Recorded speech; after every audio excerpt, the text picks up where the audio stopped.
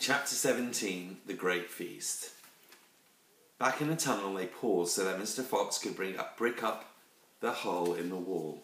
He was humming to himself as he put the bricks back in place. I can still taste that glorious cider, he said. What an impudent fellow Rat is. He has bad manners, Badger said. All rats have bad manners. I've never met a polite rat yet. And he drinks too much, said Mr. Fox, putting the last brick in place. There we are. Now, home to the feast. They grabbed their jars of cider and off they went. Mr. Fox was in front, the smallest fox came next, and Badger last. Along the tunnel they flew, past the turning that led to Bunce's mighty storehouse, past Boggis's chicken house number one, and then up the long home stretch towards the place where they knew Mrs. Fox would be waiting. Keep it up, my darlings, shouted Mr. Fox. We'll soon be there. Think what's waiting for us at the other end, and just think what we're bringing home with us in these jars. That ought to cheer up poor Mrs. Fox. Mr. Fox sang a little song as he ran. Home again, swiftly I glide, back to my beautiful bride. She'll not feel so rotten as soon as she's gotten some cider inside her inside. then Badger joined in.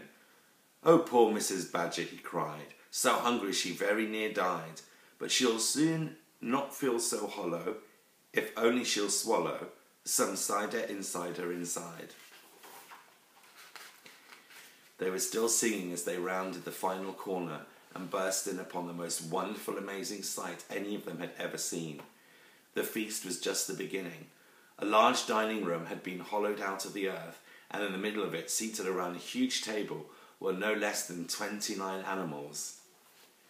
They were Mrs. Fox and three small foxes, Mrs. Badger and three small badgers, Mole and Mrs. Mole and four small moles, Rabbit and Mrs. Rabbit and five small rabbits, Weasel and Mrs. Weasel and six small weasels.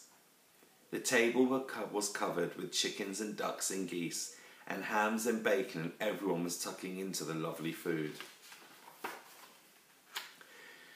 My darling, cried Mrs. Fox, jumping up and hugging Mr. Fox. We couldn't wait. Please forgive us. Then she hugged the smallest fox of all, and Mrs. Badger hugged Badger, and everyone hugged everyone else. Amid shouts of joy, the great jars of cider were placed upon the table, and Mr. Fox and Badger and the smallest fox sat down with the others. You must remember no one had eaten a thing for several days. They were ravenous. So for a while there was no conversation at all. There was only the sound of crunching and chewing as the animals attacked the succulent food. At last Badger stood up. He raised his glass of cider and called out a toast. I want you all to stand and drink a toast to our dear friend who has saved our lives this day, Mr. Fox. To Mr. Fox, they all shouted, standing up and raising their glasses. To Mr. Fox, long may he live. Then Mrs. Fox got shyly to her feet and said, I don't want to make a speech. I just want to say one thing, and it is this. My husband is a fantastic fox. Everyone clapped and cheered.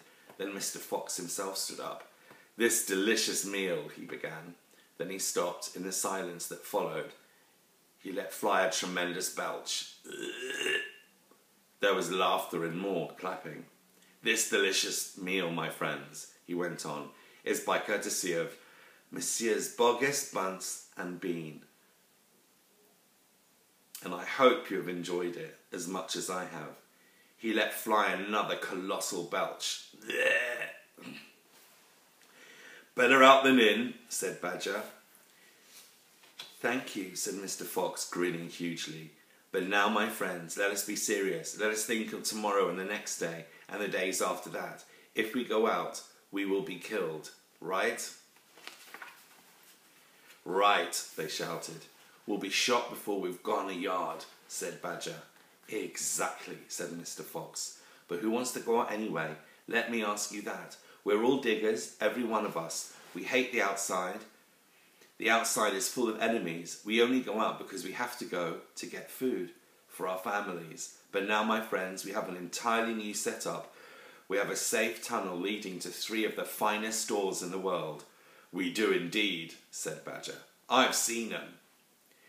And you know what this means? said Mr. Fox. It means that none of us need never go out into the open ever again. There was a buzz of excitement around the table.